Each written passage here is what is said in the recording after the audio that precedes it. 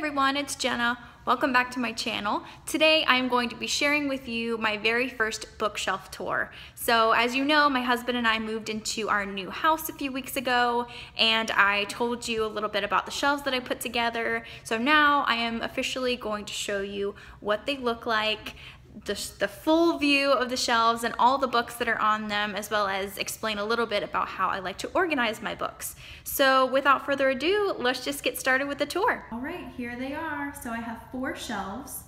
Um, the first three on the left are my books, and then the last shelf is made up of my husband's books. So as you can see, really, the shelves in this room are really the only thing that's like really put together and organized, but hey, priorities, right? So let's just get started by going shelf by shelf and showing you all the books that I have. All right, shelf number one. The first book, hi. The first book that I'm going to show you is P.S. I Love You by Cecelia Ahern. I actually got this in Ireland on my honeymoon in Galway, which I thought was pretty awesome. The next book is The Ishbane Conspiracy by Angela, Karina, and Randy Alcorn followed by Lord Foulgrin's Letters, also by Randy Alcorn. Next up is Little Women by Louisa May Alcott. Then we have the Chronicles of Brothers books, the first one being The Fall of Lucifer, Book 2, The First Judgment, and Book 3, Son of Perdition all by Wendy Alec. The next book is Lost Lake by Sarah Addison Allen. Then we have The Sugar Queen by Sarah Addison Allen. Next up is The Handmaid's Tale by Margaret Atwood. Followed by Pride and Prejudice by Jane Austen. Then I have The Night Gardener by Jonathan Auxier. Red Queen by Victoria Aveyard. Next up, personal favorite, A Man Called Ove by Fredrik Backman. Then the Six of Crows duology, beginning with Six of Crows. And Crooked Kingdom, both by Leigh Bardugo. The next book I actually don't have a cover for, but it is The Magicians and Mrs. Quint by Galen M. Beckett. Next up is Cemetery Girl by David Bell. The Readers of Broken Wheel Recommend by Katarina Bivald. The Sweetness at the Bottom of the Pie by Alan Bradley. Wuthering Heights by Emily Bronte. And another personal favorite, Jane Eyre by Charlotte Bronte. Shelf number two. The first one is a bind up of the complete novels of Charlotte and Emily Bronte with Jane Eyre, Shirley, Wuthering Heights, Villette, and The Professor. Next up is Tell the Wolves I'm Home by Carol Rivka Brunt. Then we have The Dead Boys by Royce Buckingham. Next up is a beautiful edition of The Secret Garden by Frances Hodgson Burnett childhood favorite. And another childhood favorite, A Little Princess, also by Frances Hodgson Burnett. That is my original copy from fourth grade. The Miniaturist by Jessie Burton. Then I have the first book in the Codex Alera series by Jim Butcher, and it's called The Furies of Calderon.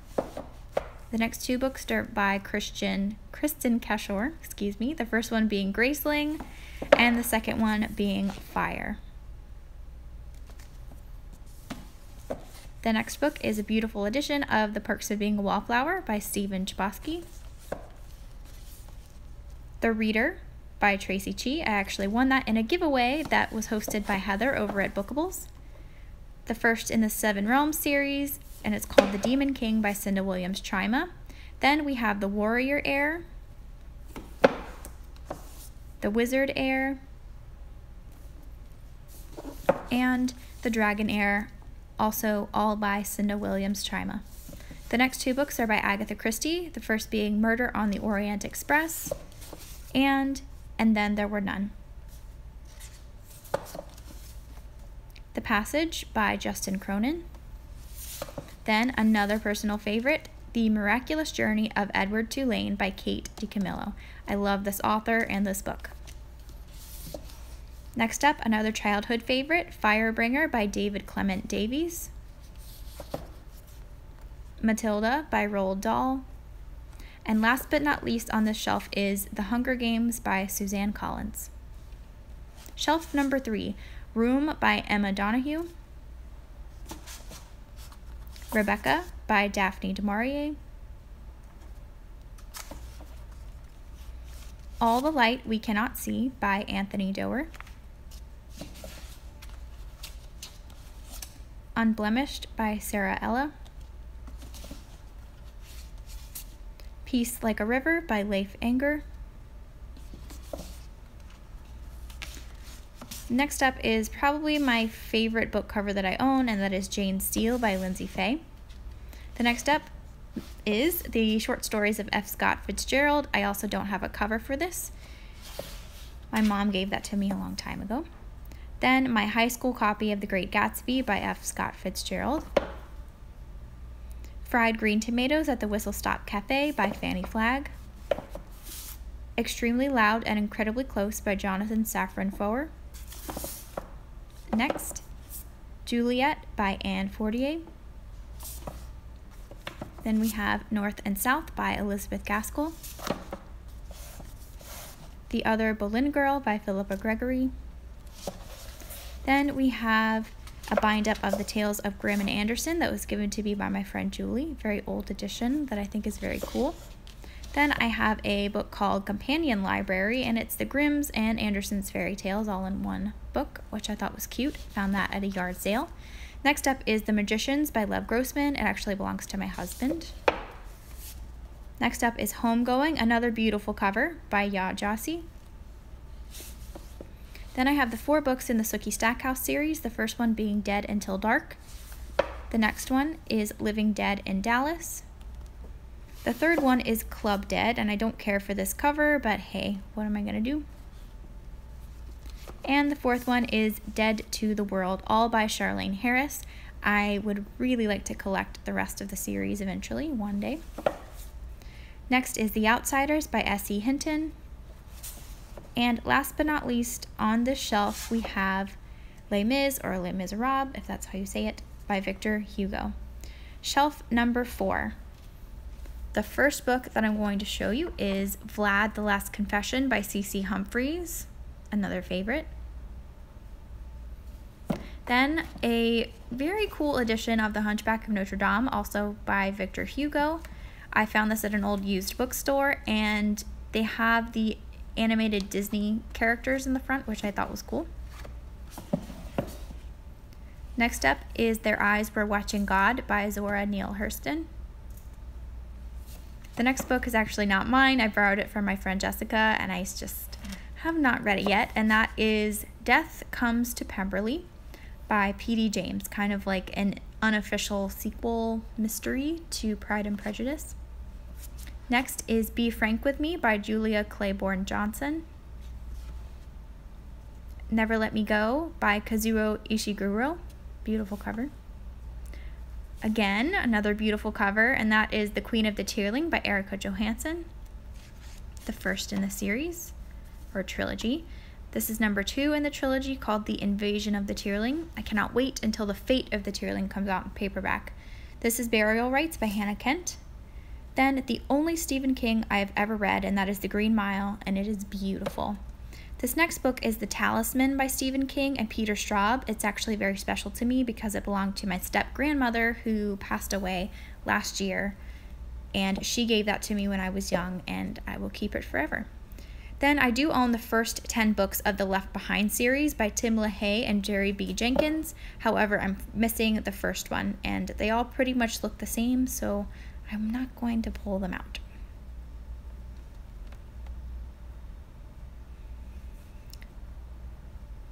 Next up, we have To Kill a Mockingbird by Harper Lee, followed by Go Set a Watchman, also by Harper Lee. Next up, just got this one, and it is Since We Fell by Dennis Lehane. Where the Heart Is by Billie Letts. Then a bind up, it actually belongs to my husband, of The Chronicles of Narnia by C.S. Lewis. My copy from middle school, and that is The Call of the Wild by Jack London. Then I have the Throne of Glass series, the first one being Throne of Glass, the second one, Crown of Midnight. I'm missing Heir of Fire, and that's number three. Number four is Queen of Shadows. And number five is Empire of Storms, and I'm definitely getting that when it comes out in paperback. Then we have the first two books in the ACOTAR series, the first one being A Court of Thorns and Roses, and the second one being A Court of Mist and Fury. I just finished A Court of Wings and Ruin, and I definitely liked it, not as much as the second one though. The next book that I will show you is Wicked by Gregory Maguire. Next up, another good one, and that is Bird Box by Josh Malerman. Highly recommend. Next up is Station 11 by Emily St. John Mandel. Then I Am Legend by Richard Matheson. Then I have the first three books in the Lunar Chronicle series. First one is Cinder followed by Scarlet. And last but not least on this shelf is Cress, all by Marissa Meyer.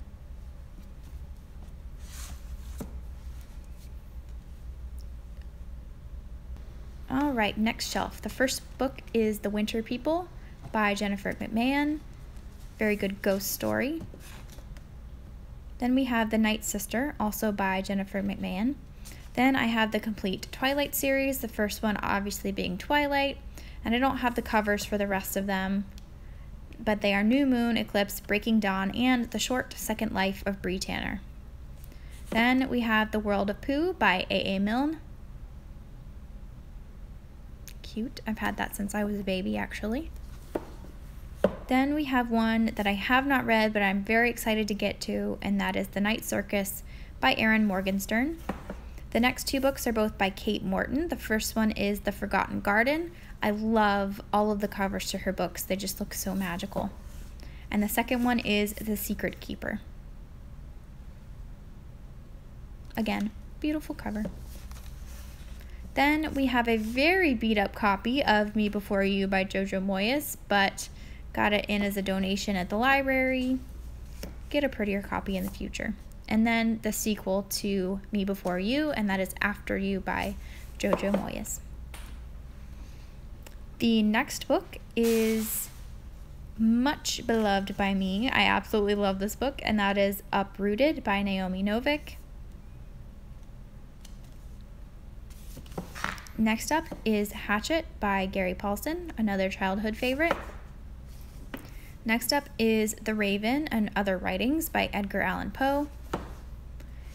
And then I have Yes Please by Amy Poehler. And as I was pulling this off the shelf, I realized that it's not actually fiction, it's nonfiction. And I don't know why I put it there, but oh well. Then we have The Yearling by Marjorie Kinnan Rawlings.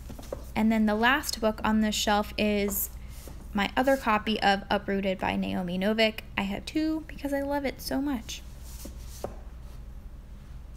Next shelf the book that we have is The Interview with the Vampire by Anne Rice, followed by the rest of the books in the Vampire Chronicle series. Number two is The Vampire Lestat. Number three is The Queen of the Damned. Not crazy about that cover. Then we have The Vampire Armand, Memnoch the Devil. I've heard really creepy things about this. I don't know if I'm going to read it or not. Then we have The Tale of the Body Thief. And then the next book is Angel Time, which is the first in a different series by Anne Rice about angels as opposed to vampires. Then we have another favorite of mine, and that's Francine Rivers' Redeeming Love. another beautiful book. Then we have the Harry Potter series. Everybody knows these, so I don't want to say the titles over and over. Um, but I do have those seven books as well as the illustrated editions of the first two. The first being The Sorcerer's Stone, the second one being The Chamber of Secrets. I do plan on reading these right before the third illustrated book comes out in October. The next book is The Final Empire by Brandon Sanderson. That's the first book in the Mistborn trilogy. And the last book on this shelf is This Savage Song by Victoria Schwab. Next up is A Darker Shade of Magic by V.E. Schwab. Then we have Vicious, also by V.E. Schwab. I've yet to read anything by her, but I'm very excited to. Snowflower and the Secret Fan by Lisa See.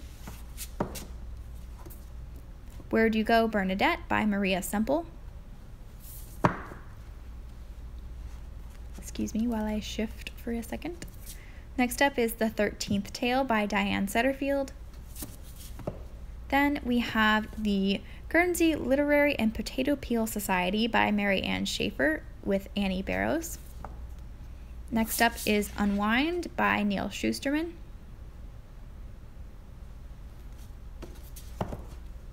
Another modern classic I'm excited to get to, A Tree Grows in Brooklyn by Betty Smith. Then we have Safe Haven by Nicholas Sparks. I only have this because I love the movie so much. The next book is The Light Between Oceans by M.L. Stedman. Then we have The Art of, excuse me, my phone died. I had to start over. But I skipped The Art of Racing in the Rain. And then we have A Sudden Light by Garth Stein. The Mysterious Benedict Society by Trenton Stewart. Dracula by Bram Stoker. And then the unofficial sequel to Dracula, The Undead, which was written by Bram Stoker's grandson, I think, Dacre Stoker. The Help by Kathryn Stockett. Ever the Hunted by Erin Summerill, another beautiful cover. Then we have Sweeney Todd, The Demon Barber of Fleet Street, the movie tie-in cover, and I don't know who wrote that. An Ember in the Ashes by Sabaa Tahir. Then another personal favorite, and that is The Bonesetter's Daughter by Amy Tan and The Joy Luck Club, also by Amy Tan. The Darkest Corners by Kara Thomas. And the last book on the shelf is one of my editions of The Hobbit by J.R.R. Tolkien. Next shelf is a bind up of The Lord of the Rings, one of the ones that I own. Then we have another edition of The Hobbit, and then a matching set of The Fellowship of the Ring,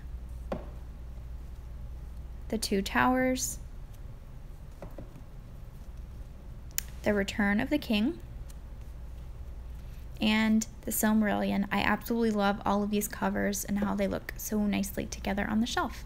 Then we have The Children of Hurin, followed by another bind up of The Lord of the Rings, all by J.R.R. Tolkien. Then a beautiful book, and that is The Beauty and the Beast by Gabrielle Suzanne Barbot de Villeneuve. Is that how you say it? I don't know, but it's beautiful. The Woman in Cabin 10 by Ruth Ware. The Little Stranger by Sarah Waters. The Black Prism by Brent Weeks. The Martian by Andy Weir. Another beautiful cover, and I Darken by Kirsten White. Next up is The Shack by William Paul Young. The Shadow of the Wind by Carlos Ruiz Zafon. The Storied Life of A.J. Fikry by Gabrielle Zevin. And last but not least for fiction is The Book Thief by Markus Zusak. This next shelf focuses on Christian nonfiction.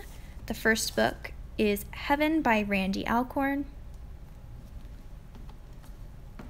Next up is Spoken For by Robin Jones Gunn and Alyssa Joy Bethke. Chaos Beneath the Shade by Tracy Bickle.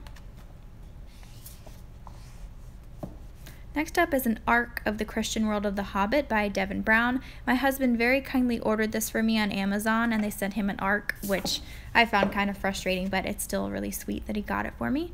This is Crazy Love by Francis Chan. Then we have The Five Love Languages by Gary Chapman.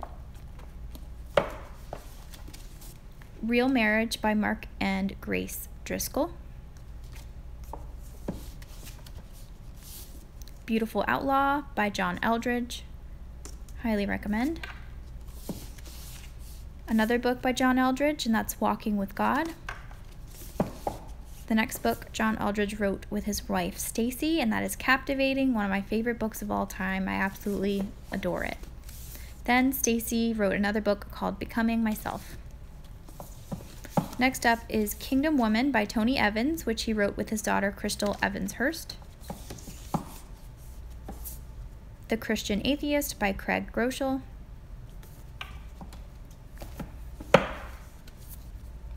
Being White by Paula Harris and Doug Schaupp. The Love Dare. I don't know the author's first name, but his last name is Kendrick. Unchristian by David Kinnaman. Then a bind up of C.S. Lewis's signature classics Mere Christianity, The Screwtape Letters, The Abolition of Man, The Great Divorce, The Problem of Pain, Miracles, and A Grief Observed. Then another edition of The Screwtape Letters. More Than a Carpenter by Josh and Sean McDowell.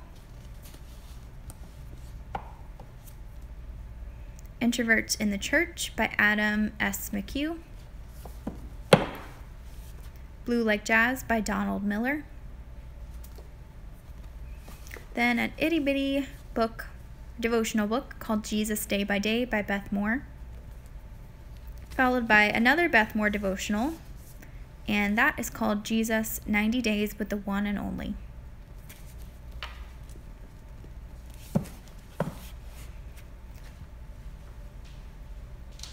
Next up is The Power of a Praying Wife by Stormie Omartian. Then we have a workbook to go along with the next cover that I'm going to show you, and that is Saving Your Marriage Before It Starts by Les and Leslie Parrott. That's the program my husband and I went through from premarital counseling.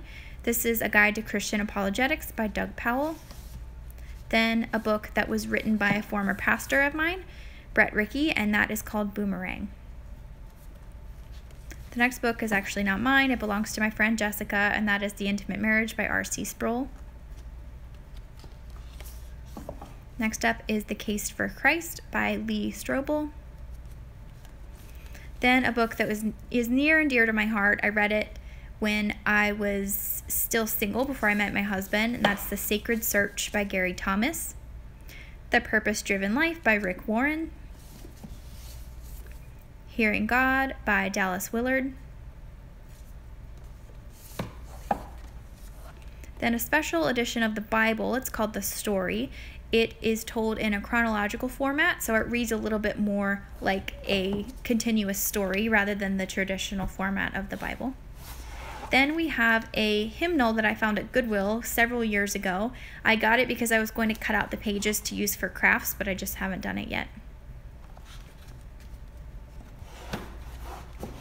All right, and this last shelf is miscellaneous, just journals. The first two books on the shelf are two of my journals. Then we have miscellaneous nonfiction, the first being the 52 Lists Project, which is like a journaling program. This is On Writing by Stephen King. I recently found this at a local used bookstore. It's a beautiful edition, and I've always wanted to read it. The next book is called Discover Who You Are by Jane A.G. Kise and a couple of other authors. It was really helpful to me in college. Then we have Inside of a Dog by Alexandra Horowitz. Planning on reading this before we get a dog, which hopefully will be sometime this year. Night by Elie Wiesel. The Diary of a Young Girl by Anne Frank. Then we have Dewey, the small town library cat that who touched the world by Vicki Myron. Take Your Best Shot by Austin Gutwine. The next book I highly recommend if you're considering being a librarian or if you want to find out what it's like to be a librarian. It's called This Book is Overdue by Marilyn Johnson. Very, very funny, very good. Then I have a few plays, the first one being Noises Off by Michael Frayn. I was actually in this play in high school and I played one of the leads, Mrs. Clackett. I put a sticker over her face for some reason. Who knows? Then we have some Shakespeare with Hamlet, then I've got King Lear, Macbeth, The Merchant of Venice, and Twelfth Night. The next play is a contemporary adult. It's called Rabbit Hole by David Lindsay Abaire. It's a great play. The movie is pretty good too. Then we have A Streetcar Named Desire by Tennessee Williams. Then I have Kirk Cameron's autobiography, Still Growing. I actually met him and he signed it for me, which was pretty cool. Then I have a favorite picture book, and that is The Polar Express by Chris Van Allsburg. I got this because I absolutely adore the movie, and the illustrations in it are beautiful. Next up is a book that I love so much. It's old. It's the official book of the Backstreet Boys. I've had it since I was maybe like 10. I don't know. Super cool. Then I have a few coloring books, a magazine, a Beauty and the Beast picture book that my stepbrother gave me a few years ago, then The Atlas of Middle Earth by Karen Wynne Fonstad. Super cool. Then I have an old treasury of fairy tales that I've had since I was a kid. I just remember reading it over and over. This is a funny thing happened on the way to the forum. It's a play I have checked out from my library. Then I have the fifth season also checked out from my library, and it's by N.K. Jemisin. That's a binder that I use for notes from church. And then I wanted to show you my other Bible. This is called the Inspire Bible.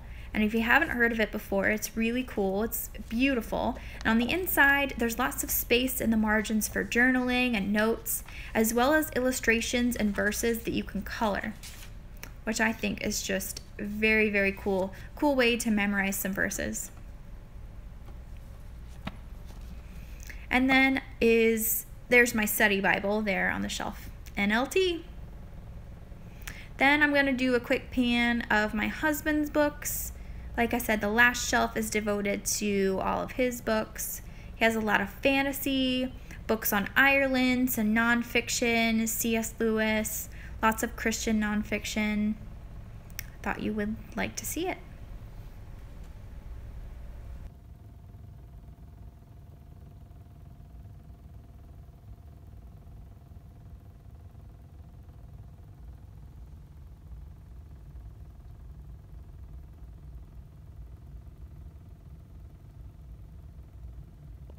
Thank you guys so much for watching my very first bookshelf tour. I hope you enjoyed it. I hope it wasn't too terribly long for you.